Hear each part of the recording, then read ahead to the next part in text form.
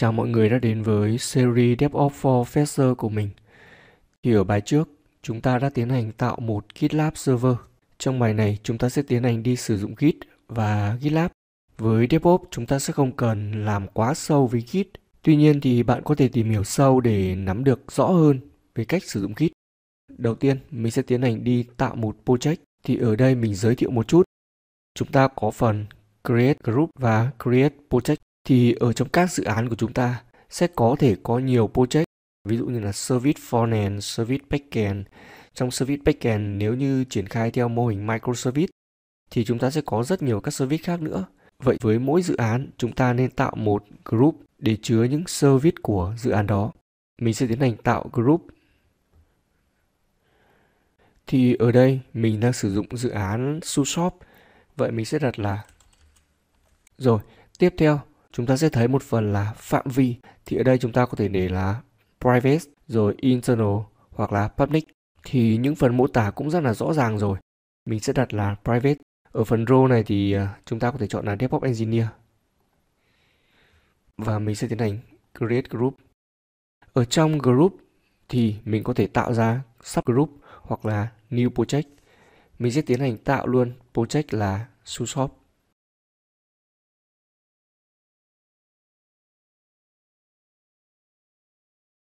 Rồi, xong tiếp theo ở dưới phần này sẽ có một file là readme. Đây bạn có thể hiểu là một file mô tả các bước làm hoặc là mô tả hệ thống của chúng ta có gì. Thì với code mà mình đã cung cấp đã có file mô tả hệ thống nên là bạn có thể bỏ tích chọn này đi. Rồi chúng ta create. Thì sau khi mà chúng ta tạo xong project rồi, bây giờ chúng ta sẽ phải làm thế nào đó để có thể đẩy được code từ máy của chúng ta, hoặc là code ở trên các server lab, lên trên GitLab server. Thì ở đây đã có một vài những cái bước hướng dẫn bạn có thể thấy. Thì chúng ta sẽ tiến hành là config. À thì chính xác ở đây đã thể hiện là ai sẽ là người đẩy cốt lên.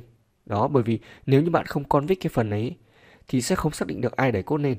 Rồi, tiếp theo sẽ đến cái phần là git clone thì chính xác lúc này chúng ta sẽ kéo cái dự án này về trên máy của chúng ta. Rồi chúng ta CD vào dự án và chúng ta sẽ switch qua nhánh main. Đó. Rồi chúng ta có thể tạo file readme, rồi chúng ta có thể add file readme. Và sau khi add xong thì sẽ tiến hành là commit rồi put thì mình sẽ tiến hành làm tương tự các bước. Ở đây mình sẽ tiến hành chạy câu lệnh đầu tiên.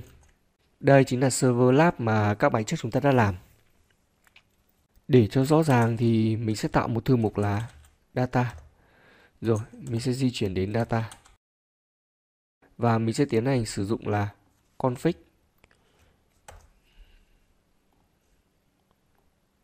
bằng hai câu lệnh, một là user và hai là email. Rồi, sau khi mà config xong thì mình sẽ tiến hành là clone. À, thế tức là mình đã kéo cái dự án trên Git server về.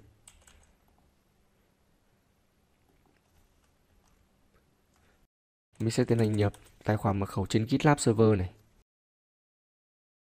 Rồi mình sẽ tiến hành kiểm tra. Đó, vậy chúng ta đã có một project là SuShop. Thì tiếp theo chúng ta sẽ tiến hành cd vào SuShop. Đó, hiện tại là chúng ta không có gì. Giờ mình sẽ tiến hành copy số code vào trong SuShop. Thì ở các bài trước chúng ta đã triển khai các dự án frontend và backend một cách thủ công. Mình đã có để ở trong home mạnh NV Bây giờ mình sẽ tiến hành là copy số code của SuShop vào trong thư mục làm việc của Git mà chúng ta vừa clone về. Bây giờ mình sẽ tiến hành là cp SuShop. Mình sẽ copy toàn bộ nội dung SuShop vào trong data SuShop. Rồi chúng ta quay lại kiểm tra.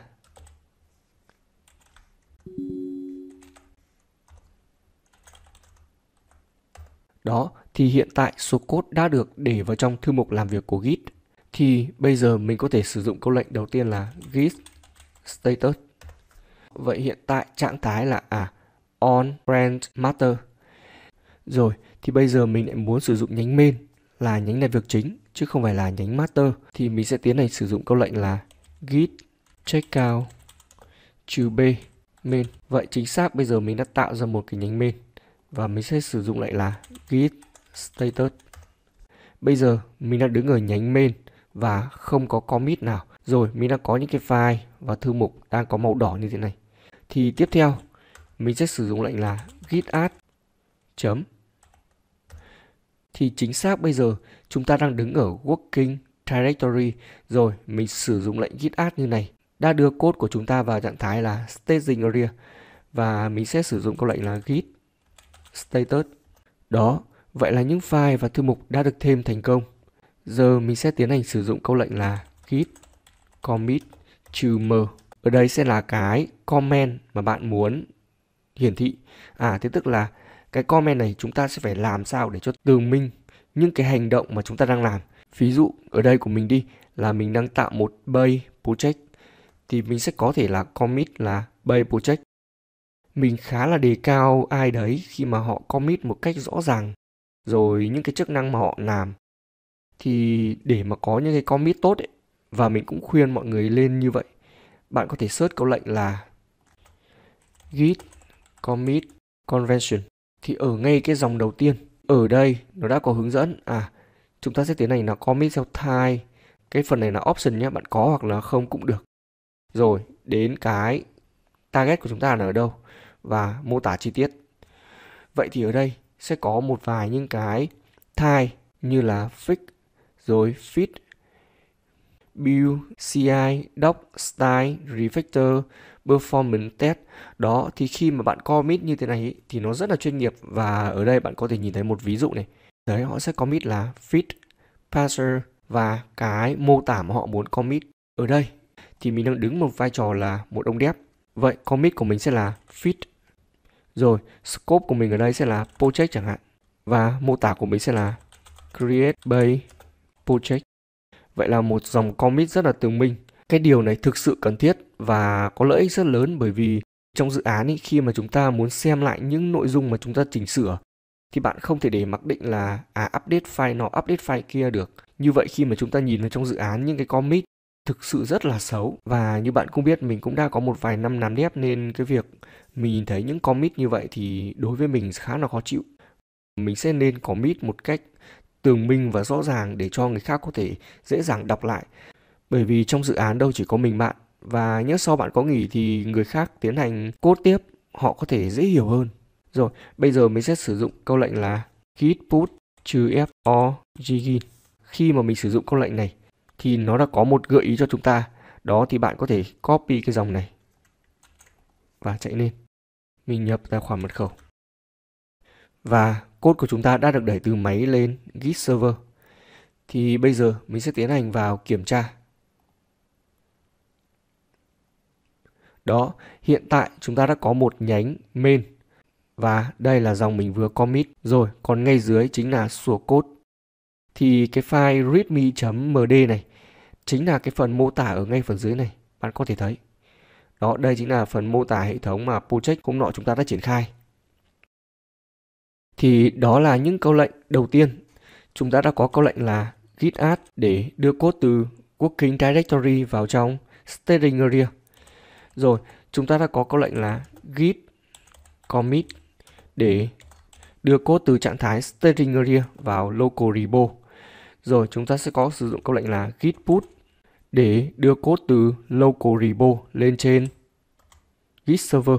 Và chúng ta cũng đã có sử dụng những câu lệnh trước đó là git config để tiến hành cấu hình xem ai là người thực hiện commit đó. Git clone để kéo số code từ trên git server về và git checkout trừ b, rồi đến tên nhánh lúc nãy chúng ta đặt là main để tiến hành tạo ra một nhánh và chuyển qua nhánh đó rồi thế bây giờ có một ai đó sửa code ở trên git server thì làm sao để chúng ta kéo được code mới về bây giờ mình sẽ tiến hành sửa ở trong file readme.md chẳng hạn và mình tiến hành nhấn vào edit đó ví dụ mình sửa ở cái phần Tên project là Sushop. Rồi, ở đây thì chúng ta sẽ tiến hành commit như nào để cho tường minh một chút. Thì chính xác bây giờ chúng ta đang tiến hành sửa doc. Phạm vi có thể là system description và chúng ta đã thay đổi tiêu đề của hệ thống. Rồi, mình sẽ tiến hành là commit. Đó, vậy bây giờ mình đã thay đổi cái phần su shop này rồi. Và hiện tại code ở trên máy đã không phải là mới nhất. Vậy thì làm sao để chúng ta kéo được code mới nhất? Thì mình sẽ sử dụng câu lệnh là git pull. Đó, vậy là hệ thống đã tiến hành kéo cốt mới nhất về và ở đây đã có thông báo luôn là sửa file readme. Thì đây là những phần kiến thức thông dụng nhất của Git. Trong bài sau, chúng ta sẽ học đến một phần quan trọng nhất chính là Git Workflow. Bài học này mình sẽ dừng lại tại đây. Cảm ơn mọi người đã theo dõi series.